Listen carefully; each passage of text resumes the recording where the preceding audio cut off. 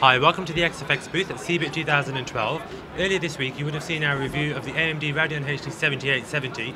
Uh, the architecture has promise, but partner cards don't launch until later this month. So I've tracked down Sai from XFX, who's going to show one of the cards that are coming soon. Sai, this is your variation of the 7870. Indeed. Talk us through it. Yeah, well, thanks for uh, coming along, guys. I appreciate that. Coming to check out our brand new products that are available in the market. As you said, the uh, 7870 and 7850 are the latest products to be launched from AMD. However, this is our XFX launch, so we like to bring something more unique and really a better proposition to, to the gamers, our, our core customers in the market. Um, as you will see uh, with our latest uh, product to be released now, um, we're using our, our patented uh, double dissipation technology, which basically just dictates that we're using dual fans on here.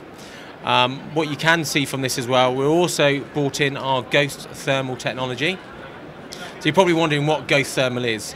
Very, very simple. Um, what we've designed around the card is to really create the maximum airflow possible for the card. Why is that good? It means we can keep the card cooler. And uh, the way we implement this technology is that we have something called a, a floating fan. So as you see here, you have this space around the, the whole edge of the card.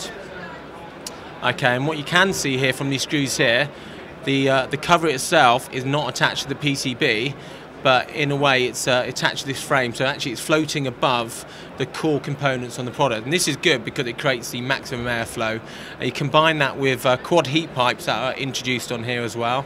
And with the uh, the two the two fans, you really get the optimum cooling environment for, for the product as well. So. Uh, Okay, so AMD said that the retail launch is going to be March the 19th. Is this Yes. card going to be available on day one? It will be. So, from a hard launch aspect, which is really what it is, yeah, you know, there's been a launch of information, but product on the shelves is the 19th of March, and we will have product on shelves the 19th of March, available from all your major e-tailers, basically. Excellent. Okay, and what about frequencies?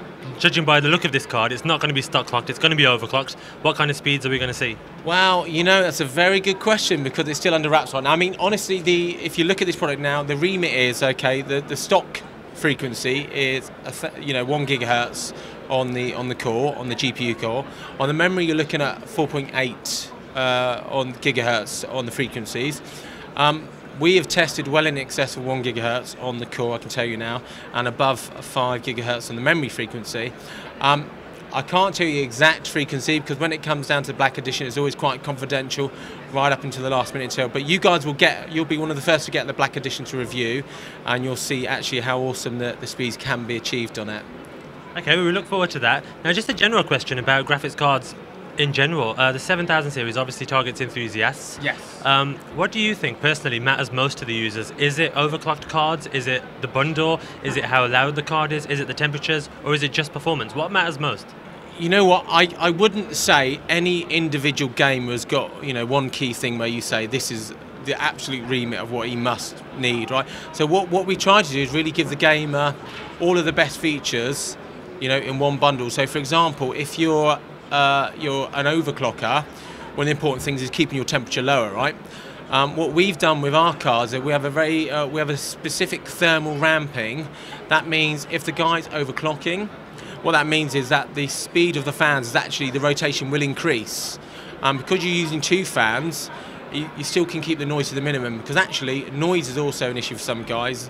The guys that aren't maybe really going crazy overclock, they don't like the noise so much. So what they want is a cooler card as well, but obviously but without the noise. So I think you know the way our products work with the thermal ramping, it can really benefit if you're a very keen overclocker, or if you're not going to overclock. The way the thermal ramping will respond is that the fans won't spin so fast when they're not overclocking and there's not much heat there.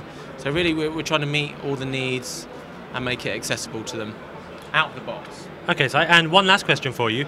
Um, you mentioned noise. It does matter a lot to certain users. Yes. When are we going to see a passive 7 series card from XFX? Um, we're working on some passive cards, which is uh, um, downstream on the product sets, which is going to be on the probably the 7750. We're having a look at this one now. Um, honestly, if you, if you look at the product set, you know, 0.28 nanometer, the big benefit is the, the die size of the silicon is smaller. So the, the one benefit of having a smaller a smaller chip is that you can be more creative in how you choose to call it. So definitely, we've always had a target to create one passive product which is going to be good for you know the home media center user, uh, or generally just a guy who doesn't need the, the, the, the biggest performance but wants a completely silent card. So that's actually one of our, our goals that we're working on at the moment. Thanks very much, Ty. Okay, so obviously exciting times to be an AMD partner. That is the XFX 7870. We'll have a review of that in the very near future and keep an eye out for retail availability on March the 19th.